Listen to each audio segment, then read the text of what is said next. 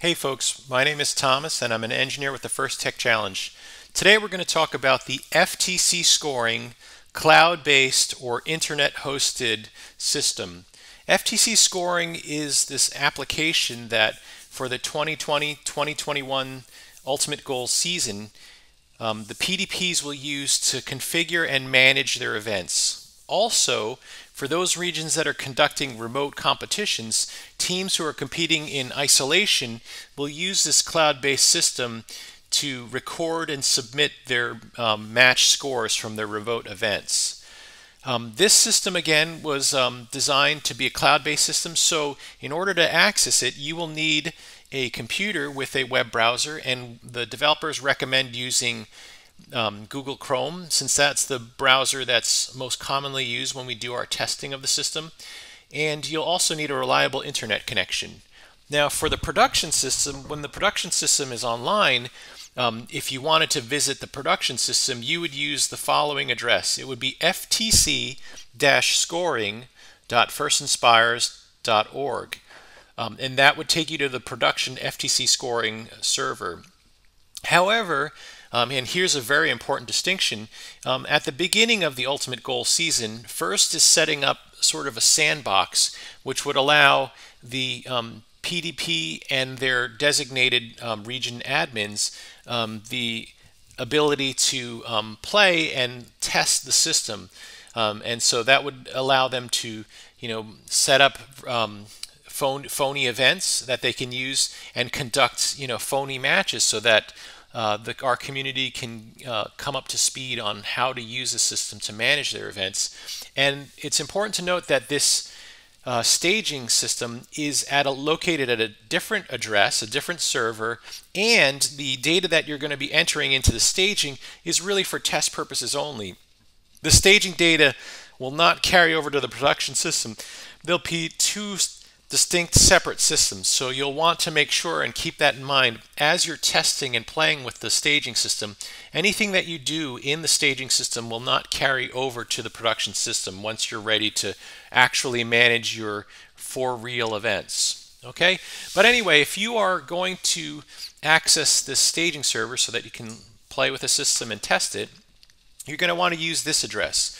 In your web browser, type in ftc-cloud.pdx-staging.ftclive.org and that should take you to the staging server. And when you visit the staging server, the first thing you'll notice is that you'll be challenged with a login. And that login is using the same mechanism that the First Inspires website uses to log in um, a user into their First Inspires um, dashboard account. So if you are a PDP and you want to log into the FTC scoring system, in effect, what you need to do is you need to log into the FTC, um, or I'm sorry, not the FTC, the First Inspires um, dashboard account. And when, by logging into that First Inspires dashboard account, you'll automatically be um, you'll automatically be, be um, authenticated also to the FTC scoring system. Okay, and if you are a PDP, you want to sign in with the dashboard account that corresponds to that PDP role. And an important note that if you are setting up um, a, a region and you would like to designate additional volunteers to help you manage that region, in order to be able to do that, you will first, as the PDP, need to log into that region. Because again, you have to log in first you're the one that's authorized, and then you could add additional users to help you manage that region afterwards. Okay, but I'm going to log in, and the system's going to go and check my login information against the First Inspires um, authentication system. And once it verifies that, yes, this is Thomas Ang, and yes, Thomas is both a region administrator and also a team mentor, um, I will be brought to my landing page, and my roles um, will determine what kind of information is shown on my landing page. And if you look over here at the top, we see that the name of the software as well as the version of the software is listed at the top. Um, there's some links to get you some information. And then my regions and teams, if any of them are associated with that account that I logged into, um, will be displayed in the main landing page, as well as um, corporate sponsor information. Okay, So again, that's how you log in. And a couple of important things, if you want to return to this landing page, um, you can always click on this First Tech Challenge logo in the upper left-hand corner, and that'll navigate your browser back to this landing page for the FTC scoring system.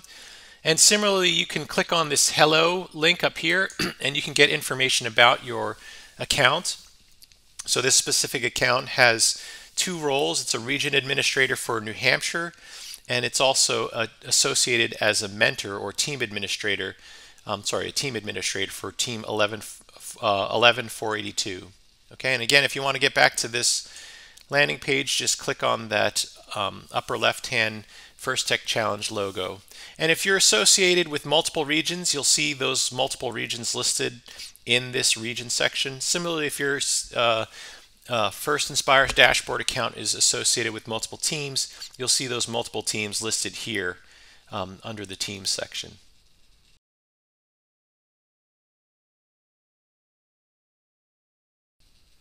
Before we continue, let's talk about submitting feedback to the development team.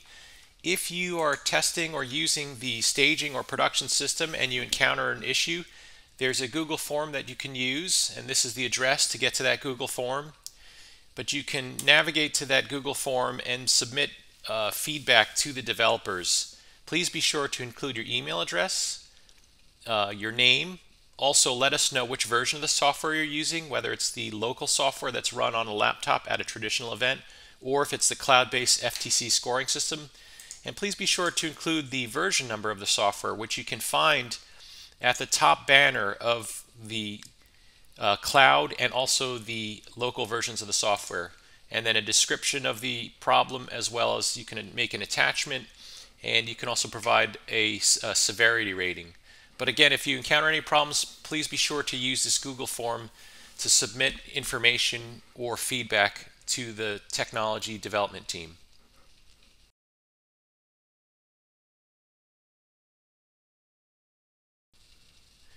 Okay, now that we've logged into the system, I'd like to talk about some common administrative tasks that you'll be doing.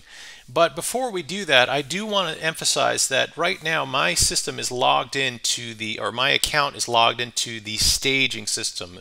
And I want to go over this real clearly because at some point we're going to have both our staging environment and our production environment online because we want people to still have an opportunity to practice and we want to have an ability to you know do some testing with our community.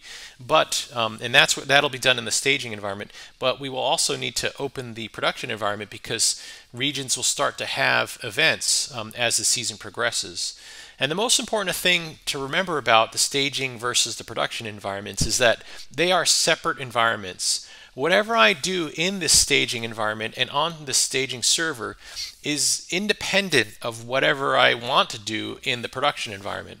So if I want to add an administrator to the New Hampshire region in staging, that's fine. But when I switch to the production environment, I will have to re-add that administrator to the production environment because whatever happens in staging is independent of whatever happens to production. Similarly, um, you should not schedule production events using the staging system. If you have a real event and you need to do the um, configuration and set up that event so that you know your teams will be able to participate and play in that event, then you should do that in the production system. The staging system is again for testing and for practice. Um, but again, if you need to set up a real event, um, that teams will be visiting and participating in, that should be done on the production system.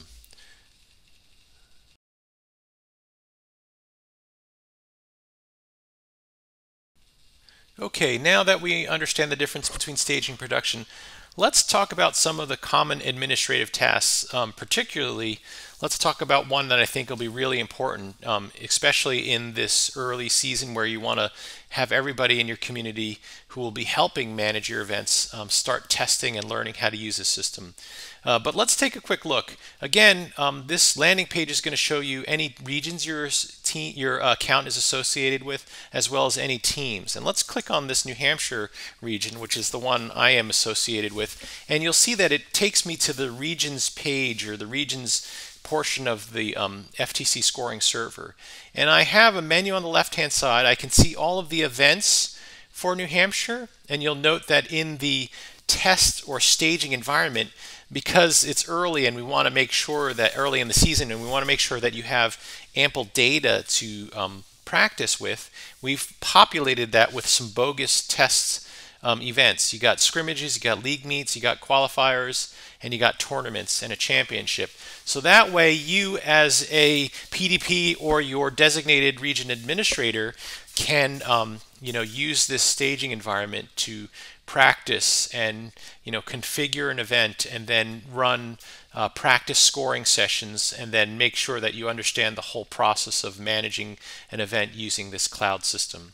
Similarly, all of the teams, oh, and um, yes, if there were production events uh, for this region, they also would get um, uh, synchronized from the production database to this um, system. But again, it would be one way. So if I add an event into the TARDIS system and I say, hey, I'm going to have an event on November 13th, I can see that in my um, staging system and I can schedule and play with it in my staging system, but that will be independent of that record or that event in the production system.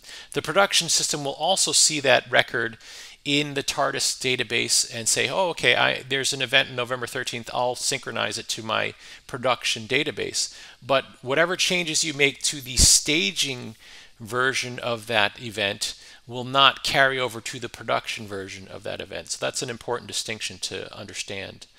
Similarly, teams. Um, you can, as a region administrator, get a list of all of the teams that have been registered for this region. So in New Hampshire, when someone has registered officially for the season, I believe that means they've been YPP screened and they've also paid their registration fee, they will appear as a team in your um, region. And so you can see if you look at this example region, I have in New Hampshire several teams that have registered for the ultimate goal season, and those are all the teams that have team numbers lower than 50,000. And for the team numbers greater than 50,000, or actually 51,250, uh, equal or and above, these are um, phony teams that are development team populated for your region so that you have additional teams that you can use while you're testing in staging. And once again, whatever you do in staging is going to be independent what happens in production. Um, as a region administrator, you can um, administer your leagues, and that allows you to create leagues or to modify them. And uh, for this season, not only can you create a league, but you'll be able to create um, child leagues. So for example, if I'm in New Hampshire, I can create a New Hampshire league and put all of my teams in that league. And then I can also even create child leagues of which are children of the New Hampshire League. And so for instance, I could have Portsmouth, New Hampshire as one child league, and the teams in the Portsmouth area are part of that child league. And then I can also have a child league in Manchester, New Hampshire. And those teams are members of the Manchester League. And during the season, those teams in their respective leagues might play mostly against each other. So Portsmouth teams would play against Portsmouth teams, um, Manchester teams would play against Manchester teams. But because they're all in the same parent league, when New Hampshire holds its league tournament, um, all of those teams which are in the same parent New Hampshire league will then be able to play in the New Hampshire tournament, and all of the ranking information that they accumulated in their respective child leagues will then be applied to the um, tournament for the parent league. Um, also, from your um, region uh, section, you can uh, modify or manage sponsors. You can add, delete, or edit sponsors. And again, you can provide a name, a title, um, choose a logo, and then a position. Where will it be displayed in the scrolling order of regional sponsors? So if, if in New Hampshire I have four or five sponsors, I can add them in here and choose in which order those sponsors are shown um, in these banners um, on the pages. Okay. And then the last thing is um, an important one. This is the users field. Uh, and this is a really important one. As a PDP, you want to designate um, access to um, the system. So for instance, I might be the PDP for New Hampshire, but I need some additional help in managing this um, region. So I have a volunteer who is going to act as my region administrator, and you can use this portion of your region page or this uh, link on your region page to manage those additional roles. And so what I'm going to do is if I wanted to add a role, I can say, um, let's give this person um, uh, region administrator access. Okay, and this email account, ftctechnh at gmail.com, um, is going to have the um, access to the New Hampshire as a region administrator. Now, the important thing is that now you see it over here. Um, this email has to be associated with the First Inspires dashboard account. So when that person who owns the FTC TechNH at gmail.com address wants to access the FTC scoring system, then that person will have to log in to the First Inspires dashboard account that is associated with this email address.